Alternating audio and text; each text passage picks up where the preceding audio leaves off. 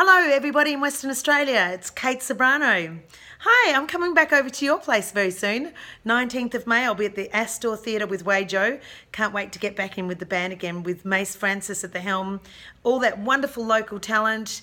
Me, Jazz, you. Oh, it's a perfect combination. Look forward to seeing you all soon. Bye.